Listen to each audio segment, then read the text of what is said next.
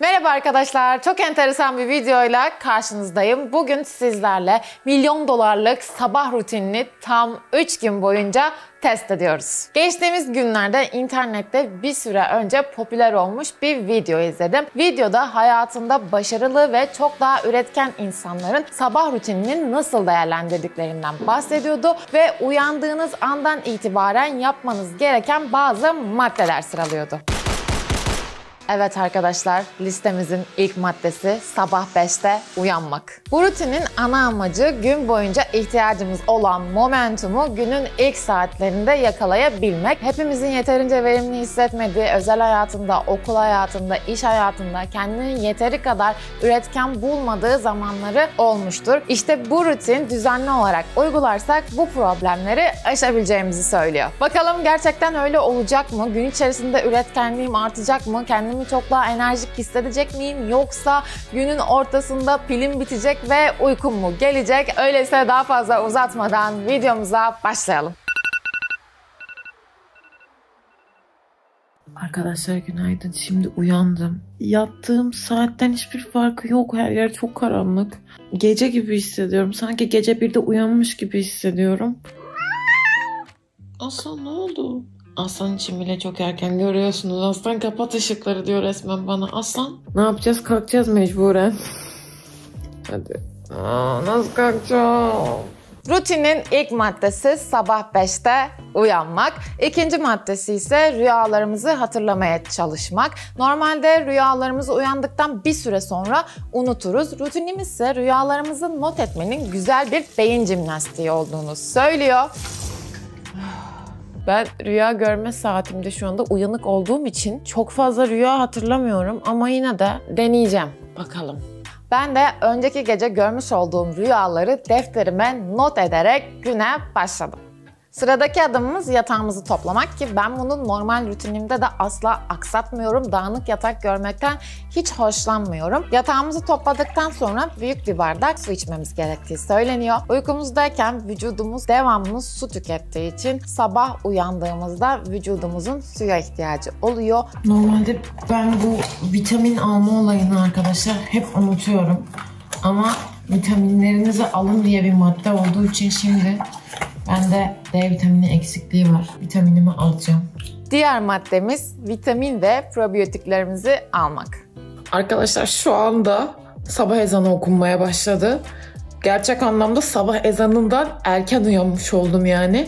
Şimdi sizinle birlikte meditasyon yapacağız ama aslında meditasyonun olayı bu arada ruhani bir şey sabah namazı kılmak da bence aynı şey olabilir. Gerçekten annem görse beni kesinlikle böyle söylerdi. Sırada 20 dakika meditasyon var. Nefes al, ver, bir.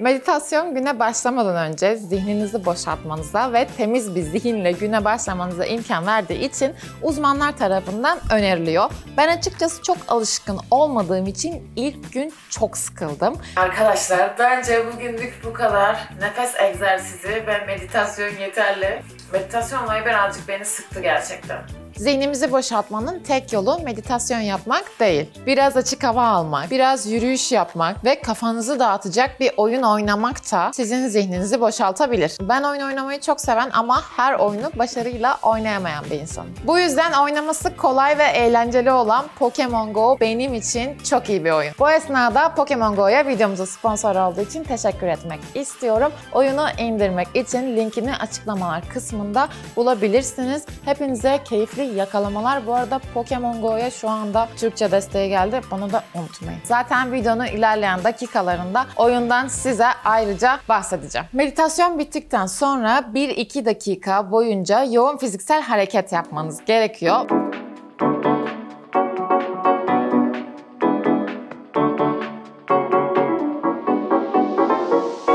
Buradaki amaç meditasyondan sonra yavaşlayan kalp atışlarımızı biraz hızlandırmak ve vücuda kan pompalamak. Biraz daha hadi. Biraz daha yok.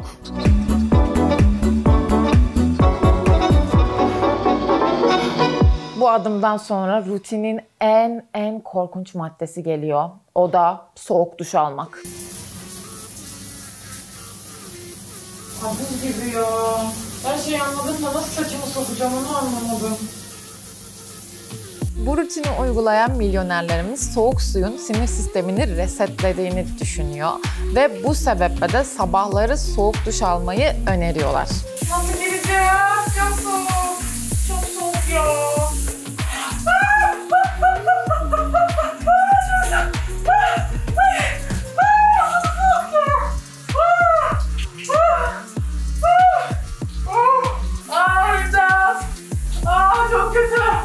Korkunç, korkunç ötesi. Ah, ah. Allah sen yardım et. İnanılmaz. Aa! Şu gün başıma gelen en kötü olaydı. Yani bittim ya. Hayatım kaydı arkadaşlar. Bu kadar soğuk suya girilmez kışın ortasında ya. Mart ayının başında ne işim var ya benim soğuk suyun altında arkadaşlar. Bu 1 milyon dolarlık sabah rutininde olacak iş değil. Bu hani 1 liralık sabah rutininde olur. Neden? Doğalgaz faturasını ödeyememişsindir. Okey o zaman olur ama bunun 1 milyon dolarlık sabah rutininde işine gerçekten akıl sır erdiremedim. Başımdan aşağı kaynar sular döküldü derler ya ben onun tam tersini yaşadım. Çok kötüyüm. Vallahi çok kötüyüm. Kendime gelmem uzun sürecek. Hazırlanmanız için bir boşluk var. Bu noktada sizlerden kendi rutininizi yapmanızı istiyor. Ben de kendi rutinimi yaptım. Kedilerimi besledim, makyajımı yaptım. Güne normal ritmimde hazırlandım. Çay yapacağız ve masa başına geçeceğiz. Rutinimizin devamında çay yapmamız isteniyor. İstediğiniz bir bitki çayını yapın demiş. Bitki çayınızı yaptıktan sonra da günlük yazmanız isteniyor. Günlük yazarken ilk gün çok zorlandım çünkü uzun zamandır yapmadığım bir eylemdi. Yazmayalı o kadar uzun zaman oldu ki ne yapacağım, ne yazacağım inanın hiç bilmiyorum. Günlük yazmayı hiç sevmem biliyor musunuz? Yani yazıyorum, yazdığım zamanlar aşırı duygusal şeyler yazıyorum. Bence günlük bu kadar duygusal da olmamalı. Sonra o yazdığım şeyi biri bulacak diye ödüm patlıyor arkadaşlar. Bilmiyorum aslında günlük yazanlara gerçekten çok büyük saygı duyuyorum. Okuduklarında eminim seneler sonra o günlere dönecekler. Nasıl böyle hissetmişim, ne kadar salak bir şey falan diye- diyeceklerdir ama bilmiyorum hiç benlik bir olay değil ya. Ay hadi bakalım ne yazacağım? Ay kapı açıldı. Ay ödüm patladı Yasu geldi içeriye. Yasu ödüm patladı. Yasu bayağı kapalı kapıları bile açıyor bu arada.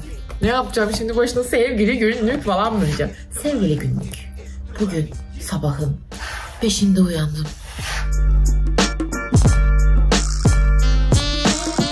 Ya inanmayacaksınız ama günlüğü yazdım ve oldukça keyif aldım. Bana iyi geldi içimdekileri dökmek, kağıda yazmak ve hani gerçekten bütün hissettiklerimi yazdım. Günlüğünüzü yazdıktan sonra yazmaya devam ediyorsunuz. Yapılacaklar listesi, hissedilecekler listesi ve olmayacaklar listesi adı altında 3 farklı liste yapmanız gerekiyor. Yapılacaklar listeme Reels çekmek ve İngilizce çalışmak yazdım. Yapılacaklar listenizde çok büyük şeyler olmasına gerek yok. Gün sonunda kendinizi verimli hissedeceğiniz basit şeyler de olabilir. Bunları yazmak nispeten kolay ama hissedilecekler listesi hazırlamakta oldukça zorlandım.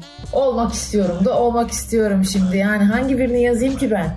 Başarılı olmak istiyorum, güzel olmak istiyorum, sakin olmak istiyorum, stressiz olmak istiyorum. E daha ne yazayım ben buraya ki? Bunları yaptıktan sonra 20-30 dakika okuma yapmanız isteniyor. Ne okuduğunuz fark etmez. İstediğinizi okuyabilirsiniz. Hadi bakalım uzun zamandır da şu kitabı bitirmek istiyorum. Çok sevdiğim bir kitap. İskandinav mitolojisi.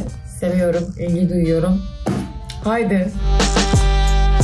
Bunları da yaptıktan sonra rutinimiz burada bitiyor ve güne başlıyoruz. 3 gün boyunca bu rutini tekrarlayacağız arkadaşlar. Henüz daha çok erken olduğu için yapılacaklar listeme yazdığım İngilizce çalışmak hedefini gerçekleştirmek için İngilizce kitap okumaya başladım.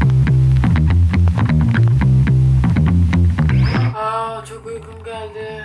Aa. Yaklaşık bir saatlik bir okumadan sonra kameramanım geldi ve Reels çekimi için hazırlanmaya başladım. Arkadaşlar şimdi yola çıktık. Ofise doğru gidiyoruz ama çekimimizin başlamasına daha birazcık zaman var. Çünkü stüdyo henüz müsait değil. Fakat ben bu süre boyunca yapılacak çok eğlenceli bir şey biliyorum. Eminim siz de zaten biliyorsunuzdur. Son zamanlarda çok severek oynadığım Pokemon Go. Arkadaşlar Pokemon Go'nun aynı zamanda yeni Türkçe dil desteği çıktı. Ben de bu vesileyle tekrardan oynamaya başladım. Uzun zamandır oynuyorum. Şu anda 15. level'dayım. Pokédex'ten zaten hangi Pokemon'larınızın olduğunu görebiliyorsunuz. Aynı zamanda Pokemon'ların özelliklerini de rahatlıkla görebiliyorsunuz. Mesela arkadaşlar bende şu anda tam 4 tane Balbazar varmış. Pikachu'mu da göstereyim size. Pikachu'muz da yani çok tatlı. Burada şu anda vahşi bir Yungos çıktı. Onu hemen yakalamam gerekiyor. Pokemon'u yakalamak için bu arada Poke topunu isabetli bir şekilde atmanız gerekiyor. Şimdi ben tek elimle attığım için belki isabet ettiremeyebilirim. Evet bir tanesi boşa gitti bir Poke topum. Evet yakaladım. Normalde bazen Pokemon'lar Poke topuna girdikten sonra kaçabiliyor ve her Pokemon yakalamanızdan arkadaşlar yıldız tozu kazanıyorsunuz. Bu yıldız tozları gerçekten çok önemli çünkü Pokemon'ları güçlendirmek için kullanılıyor. Bir tane daha çıktı. Arkadaşlar buralar full kımıl kımıl. Electabuzz. Çünkü bu Pokemon'u ben yine ilk defa görüyorum. Yine Pokédex'e kaydolacak bir Pokemon. Eğer kaçmazsa kaçtı. Canlı yayında gördünüz. Ama dövüş gücü bunun bayağı kuvvetli. Bunu o yüzden yakalamamız gerekiyor. Aa, şimdi atıyorum, üzüm veriyorum. Raz meyvesi veriyorum. Çok güçlü Pokemon'a benziyor. Ne, ne var? Bayağı kuvvetli bir Pokemon Al ya. Aa, Aldı mı? hayır Pokemon. Ver ver üzüm ver. Topuma şey yumruk atıyor. Üzüm ver üzüm. Süper hadi. Kaçmasın ya. Aa gene gitti. Kaçtı. Ya. Ya kaçtı bayağı da kuvvetli bir Pokemon'du. Bu beni çok üzdü. Bir tane daha çıktı ha. Aa. Poke topum kalmamış. Hayda. İnanamıyorum. Pokestopların bol olduğu bir yere gidiyoruz. Orada çeviririz artık bol bol poke topu yakalarız. Oyunu indirdiğimden beri ilk defa poke topum bitti yalnız. Çok fazla oynamışım. Tamam pokestoplardan buluruz merak etmeyin.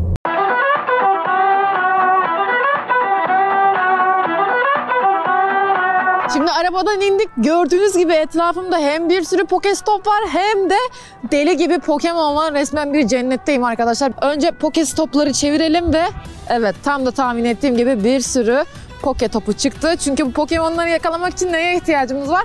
Poke toplarına ihtiyacımız var. Arkadaşlar bu ne böyle? Bir sürü Pokemon var. İlk olarak ben şu arkadaşımızı istiyorum. Evet çok tatlı. Durun bir dakika. Şimdi lütfen Ah lütfen kaçma ne olursun kaçma. Ziyan olmasın poke toplarım. Seni yakalamak istiyorum. Yes yakaladım arkadaşlar. Yakaladım. Etrafıma bak. Şu etrafıma bakar mısınız? Hemen tepik tepik. Tepikten daha önce yakaladım. Tepiki tanıyorum. Lütfen kaçma. Lütfen tatlı şey kaçma. Evet yakaladım ama bizim yine de birazcık yürümemiz gerekiyor diğer Pokestopa doğru. Çünkü Pokemon toplarım gene azaldı. Şöyle Hemen çevirdim bakın Pokédex'i. Hazır poke toplarını almışken bir tane de Pokemon çıktı karşıma. Bu çocuğu artık yakalamam gerekiyor. Seni yakalamam gerekiyor. Lütfen kaçma. Kaçtı. Hemen ona birazcık meyve ikram ediyorum. Belki meyveyle gönlünü alabilirim. Bir tane topum var. Seni yakalamam gerekiyor güzel Pokemon. Lütfen kaçma. Lütfen. Lütfen. Lütfen. Lütfen. Yes! Kaçmadı. Yakaladım bu sefer. Tamam arkadaşlar bu Pokemon'larımızın sonuncusu olsun artık çekime gidelim. Geç kalıyoruz çünkü ben sardım mı bayağı oynarım devam ederim yani. Haydi Pokemon. İşte geldik. Burada gördüğünüz gibi ışıklarımızı kurduk. Hazır mıyız? Henüz değiliz çekime. Vallahi zor iş ha. Başlarda çok enerjik olmama rağmen çekim süresi uzadıkça enerjim düştü. Şu anda bana şuraya bir yatak kursalar çok net bir şekilde uyurum. Bu arada çekimimiz hala bitmedi. Hala devam ediyor gördüğünüz gibi. Çekimi tamamlamakta oldukça zorlandım fakat bitirdik. Vallahi saatlerimiz şu anda 21.43'ü gösteriyor arkadaşlar. Ben de tam böyle yavaş yavaş bu saçları çıkartıyordum. Tam o sırada beni yakaladınız. Sonunda çekimimiz bitti. Saat 3.30'da başlayacaktık. 5'te başladık. Bayağı uzun sürdü açıkçası. Bu kadar uzun süreceğini beklemiyordum. Bizi eve yollayın ya bizi salın artık. Hadi kapatalım kamerayı. Artık eve gidelim erken yatayım ben. Çünkü biliyorsunuz ki ben yarın da sabah 5'te kalkacağım. Dolayısıyla uykumu almam gerekiyor. Hoşçakalın.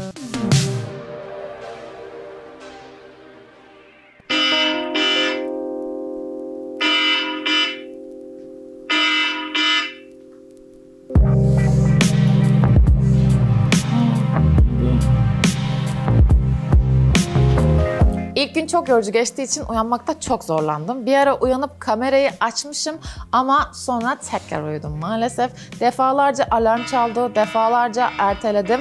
Sonunda uyanabildim. Normalde birazcık daha alışmış olmayı bekliyordum ama maalesef hiç de öyle olmadı. Maalesef uyanmam 5.20'yi buldu. İlk olarak uyanır uyanmaz yapmamız gereken şey rüyalarımızı hatırlamamız. Bu prosesi yapmak önemli.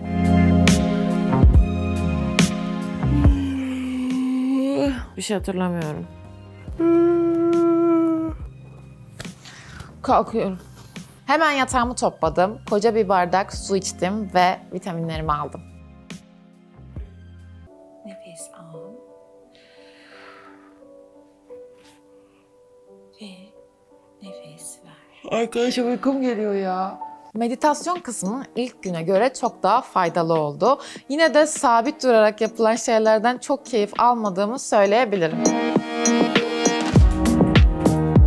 Kısa bir hareket egzersizinden sonra geldik yine rutinimizin en korkunç noktasına soğuk duş.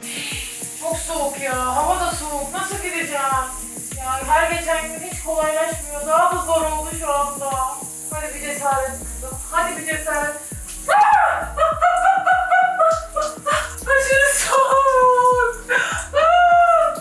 Maalesef ikinci günde soğuk duşa hiçbir şekilde alışamadım. Açıkçası vücuduma iyi geliyor gibi de asla hissetmiyordum. Hayır, hayır. Ah, ah, ah, ah. Çok soğuk, çok soğuk oldu. Çok soğuk oldu. Tamam, yeter, yeter, yeter. Aa, çok kötü. Allah'ım, bu ne? Allah'ım, bu nedir? Arkadaşlar şimdi soğuk duştan çıktım ama yani yine öldüm, öldüm, dirildim. Bu işin asla kolaylaşacağı yok gibi. Hiç bana uygun bir şey değil. Bu soğuk duştan sonra kendime gelmem çok uzun sürüyor ya. Kabus, kabus. Hemen sıcacık çayımızı yaptık ve günlük yazmaya geçtim. Bugün güneş vardı ve güneşin doğuşunu izleme şansım oldu. Ayrıca günlük yazmanın moduna da girmiştim ve hoşuma gitmeye bile başlamıştı. Sevgili günlük. Dün gerçekten çok tatlı Pokemon'lar yakaladım. Günün en güzel anlarından birisiydi. Yapılacaklar listeme çektiğimiz Reels'ın editini yapmak, giyinme odamı toparlamak ve güzel bir yerde yürüyüşe gitmek yazdım. CP'si yüksek Pokemon'lar bulmak istiyorum bugün.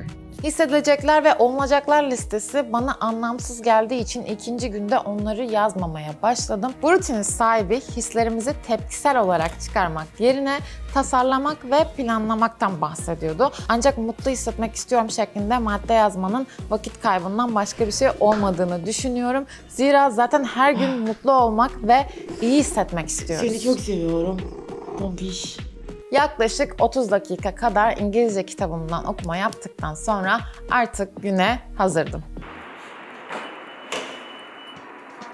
Bu arada şöyle bir güncelleme de vermek istiyorum. Bugün düne göre çok daha iyiyim. Dün gerçekten bu saatlerde ölecek gibiydim. O kadar çok uykum gelmişti ki böyle göz kapaklarım ağırlaşmıştı, gözlerim yaşarmıştı. Şu an gördüğünüz gibi gayet enerjiyim. İkinci günkü ilk maddem bildiğiniz gibi yürüyüşe gitmekti. Bebek sahilde güzel bir yürüyüşe çıktık. Birçok takipçimle karşılaştım, fotoğraflar çekindik, güzel sohbetler ettik. Biliyorsunuz sabah yapılacaklar listeme CP'si yüksek bir Pokemon yakalamak istediğimi yazmıştım ve gerçekten de bu yaşandı. Heatmore. Oo yalnız bunun dövüş gücü bayağı yüksek. Alt, ah, 613. Abi ne yapıyorsun? Bunu kesin almam lazım ya. Lütfen yapma. Yumruk atıyor poke toplarıma. Yapma. Gözünü seveyim abim. Heh, kesin kaçacak ama ya. Hadi lütfen lütfen kaçma canım Pokemon'um tatlı Pokemon'um lütfen kaçma.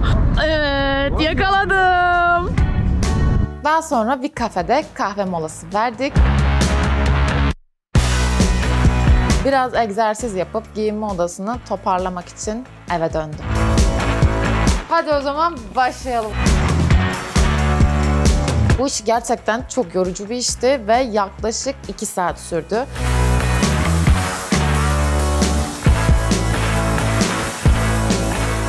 Arkadaşlar görüyorsunuz oda tamamıyla temizlendi. İlk hali nasıldı? Şu an nasıl? O kadar uzun çektim ki bu arada. O kadar uzun vakit harcadım ki kameramın pili bitti. O yüzden şu anda telefonla çekiyorum. Vallahi yerleri bile süpürdüm. Hatta süpürürken de çekmiştim size ama kameram kapandığı için maalesef göremediniz. Şuraları bayağı güzel düzenledim. Şu ayakkabıların olduğu bölümü.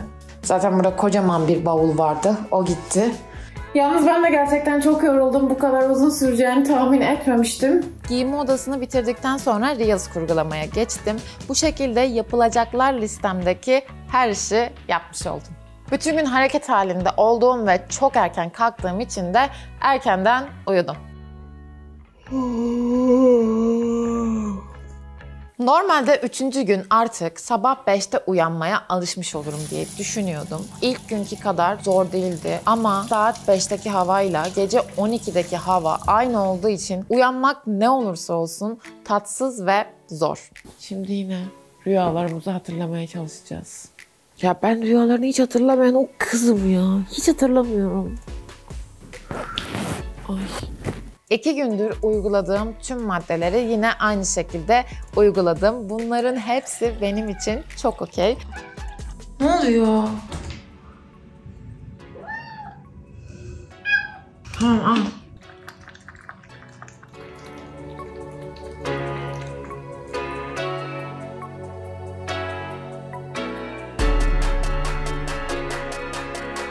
Ancak iş yine soğuk duşa gelince hiçbir gelişim olmadığını fark ettim. En az istekli olduğum bölüme geldik. Yine soğuk duş almak zorundayım. Çok zor ya. Gerçekten aşırı zor.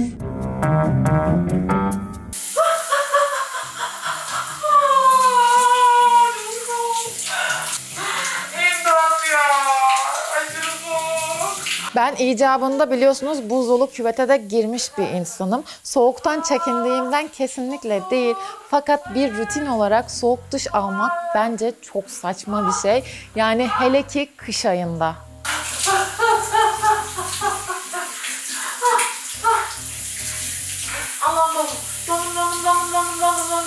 Arkadaşlar ben yine kendimi hazırladım. Kedilerimi besledim. Normal rutinimi yaptım ve çayımı hazırladım. Şimdi de günlük yazmaya gidiyoruz.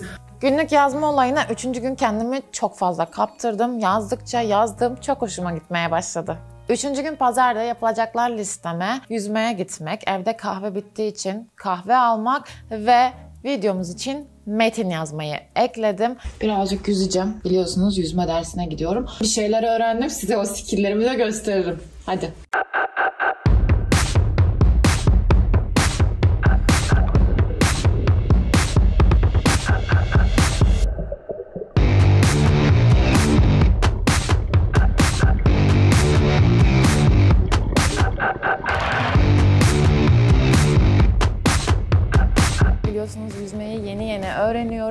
Yüzmedeyken aşırı enerjisizdim ve kendimi çok kötü hissettim. Neyse ki eve geldiğimde tekrar bir duş aldım ve uykusuzluğum geçti.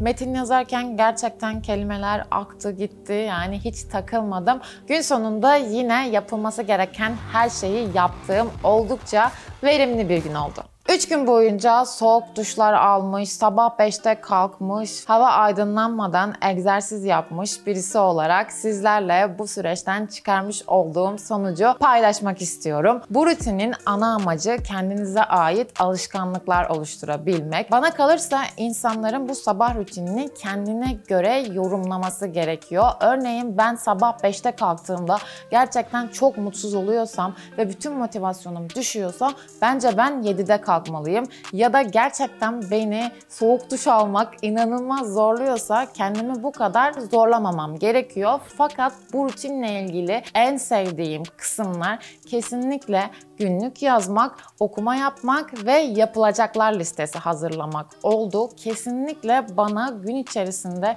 bunların faydası dokundu. Ama video sırasında da söylediğim gibi hissedilecekler ya da olunacaklar listesi hazırlamanın birazcık vakit kaybı olduğunu düşünüyorum. Başarılı olmanın ilk şartı biliyorsunuz ki çalışmak, çok daha üretken olmak için hayatımızda zaman tüketen kötü alışkanlıklarımızın yerine çok daha faydalılarını koymak hepimiz için iyi olacaktır. Benim 3 günlük milyon dolarlık sabah rutini deneyimim bu şekildeydi arkadaşlar. Videoyu beğendiyseniz beğenmeyi ve kanalıma abone olmayı unutmayın. Eğer bu şekilde denememi istediğiniz ilginç şeyler varsa mutlaka yorumlara bırakın. Hepsini okuyorum, hepsini dikkate alacağım. Hoşçakalın, kendinize iyi bakın.